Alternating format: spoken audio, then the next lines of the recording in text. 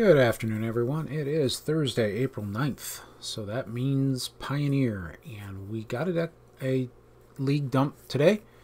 Um, there's been some weirdness in what uh, Wizards of the Coast has been posting on their website this week. We still haven't gotten a modern league uh, deck dump all week, so anyway, here's Pioneer. We've got 27 decks in today's dump, so let's take a look. Our first one here from Otzi is the cloth this is a little tweak on the Klothys Gruul deck that's been going around. We've got a few more uh, Planeswalkers than typical. Usually you only see the Chandra, but uh, interesting little uh, Gruul list here. Or maybe big Gruul list. We got Glorybringers. Questing Beasts. Kind of a Gruul mid-range. Kind of like it. Eye Plants 5-0 with Mono Black. And this is a relative four gifted Aetherborn is the two drop in here, and Scrap Heap Scrounger. So uh, good little uh, mono block list, always around. Niku, Niku, let's see, Niku Niku, something like that. With what is this? This is interesting. Ral Zarek, Sarkhan Fireblood, Sarkhan the Masterless, Dragons. Is this this is some sort of dragon? Tribalish theme. Blue Red Dragons. I'm not exactly sure what Narset is doing in this deck. But Silumgar Scorn, that's that's some spice. Treasure Cruise. Interesting little Blue Red Dragons list. It's it's almost like it's trying to be a control list. But yeah, interesting tweak. That looks fun to play. This, this one, I might pass this one by my son, see what he does with it. Yanli with Hardened Scales. Deck is definitely seeing a resurgence. And uh, yeah, it's been uh, climbing up the ranks of the pre uh, preliminary listings. So be on the watch for this deck, showing up more and more. Underdog 111 with the uh, Sultai uh, delirium list. I guess it's sort of delirium. It's not running. Uh,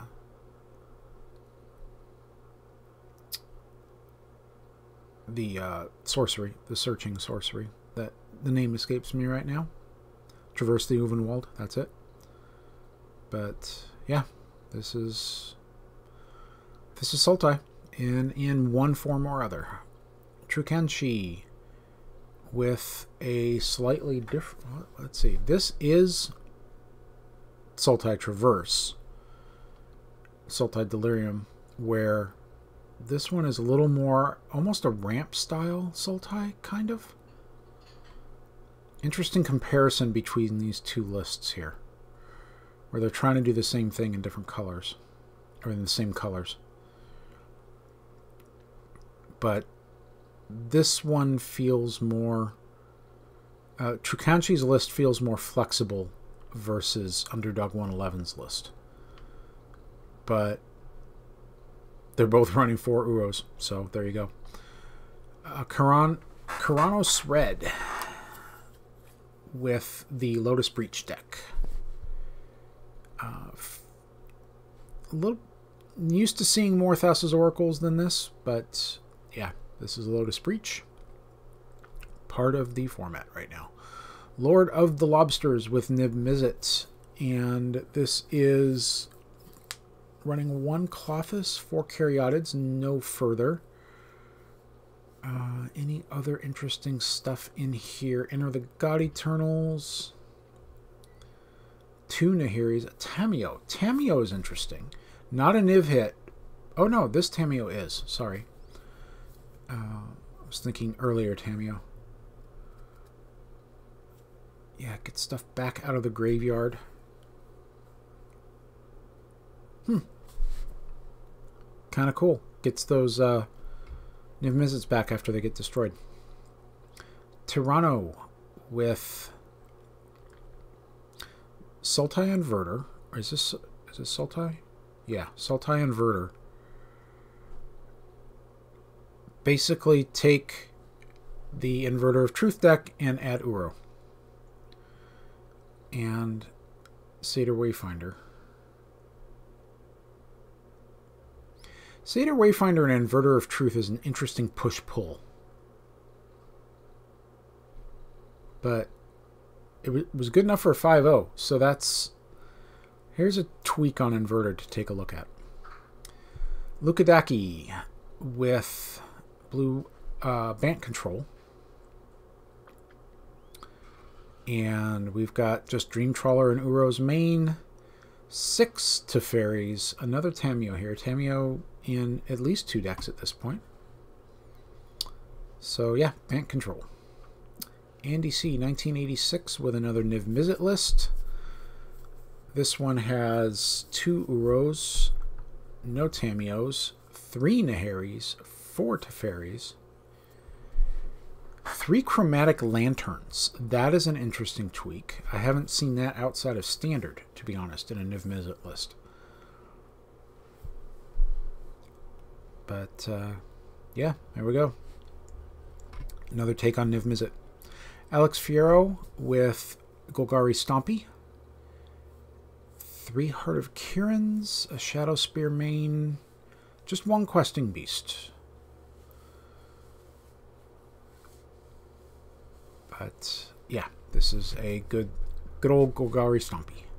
Shatun with a 5-0 with Bant Spirits. And this is the kind of become the norm, the streamlined 9 4 buys and 24 lands. And uh, I mean, that's deck building 101 right there and it's working well for this deck. JB Twist with mono red, topping out at one Torbran. Don't see any other four drops and, and two Embercleaves. Uh, but yeah, get your red dead. Four, uh, you know, eight burn spells and two Embercleaves, which is almost a burn spell. Adios, Adeus with uh, a smaller green-red deck than what we saw earlier. Green-red Coco. Klothys, Embercleave, Ferocidons, Warboss, and Rabblemaster. So, uh, yeah, a, a, more aggressive Gruul deck than the one we saw first.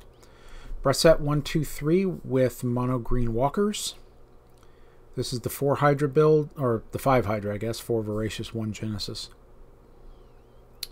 Uh, yeah, that's a relatively stock build there. Benny Hills gets 5-0 with blue uh, blue-white control. This one is much heavier on the Planeswalkers than what we saw before. Uh, three Gideons, an Elspeth. Uh, this is going for a little bit more on the enchantment removal path than the prior blue-white control deck, but here's another take on it for you. You know, pick the one that matches your playstyle. Canister with Ensoul, and he is running the blue-red version. This is not the four-color version. Mostly you can tell the difference. The, the primary difference between the two is the four-color version is running all that glitters in the main deck, and four Fatal Push and four Thoughtseize is in the side as the black is the fourth color. So it's running everything but green. This is the more traditional blue-red build. Consuming Fervor is not... Oh yeah, this is the red um, unstable mutation. Okay. Yep. Knives 311 with Orzhov Auras. Anything different in this one? Three Brain Maggot main is not something I think I've seen. Usually those are in the side. But yeah, straightforward build. Fun deck. Hyphen 68450 with. Is this a black white mid range or is this vampires? This is vampires. Sorin. Two Kaya main is different. I have not. That's what threw me off here. I've not seen Kaya in the main deck of vampires before. Uh, three Blood Baron. Nice. I like it. Can get put into play with uh, Sorin on his his uh, minus. Yeah, that's a, that's another variant on black decks that I'd, I'd like to try sometime. Doctor of Time with a Gruul aggro list. This is the one, a tweak on the one I've run with Gallia's and Atarka's command in Burning Tree Emissary and Bushwhacker. So this is kind of the Bushwhacker Gruul. Um, the lowest end of things, pretty much. This is the most aggressive I think you'll see Gruul in the format. Andrew Brown from WotC is running. Is this Jeskai Heroic? What do we got going here? Oh, this is the white blue uh, devotion deck. Though he's not running any devotion payoffs. So this is just mono white aggro splashing blue. Yeah. Little hard. It, it's, well, it's kind of, I guess it's white heroic.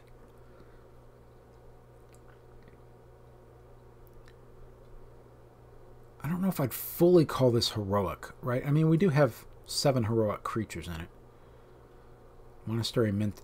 So, Monastery Mentor has struggled to find a home in anything, any format smaller than Vintage one of the spots that I thought would be interesting to try it is in Boros Feather. And this is not a dissimilar deck. So maybe this is a home for Mentor. Um, I mean, the, the card it just feels like it should be so powerful, but it just never seems to pay off. So it, good to see a 5-0 here from Andrew. Uh, yeah, this is this is an interesting build. This is one I this kind of shoots to the top of my to playlist. I, I know I say a lot. Oh, I'd love to play this, you know, and I mean my appetite is bigger than my stomach to be sure in the number of decks I actually get to play. But this is one I think I might proxy up with my son. I have most of the cards, and maybe I'll just build it, try it out with my son, and see uh, see how it goes. Tyobi 0440 with the more traditional inverter list. This is the straightforward Dimir inverter. Two of the new Ashiok's main is a new development, but everything else in it looks pretty stock. The Nard gets a 5 with a black, is this black red Kroxa list? Liliana the Last Hope, Kroxa, Discovery Dispersal, Dreadbore, Thoughtseize. This is a uh, kind of a black red mid range.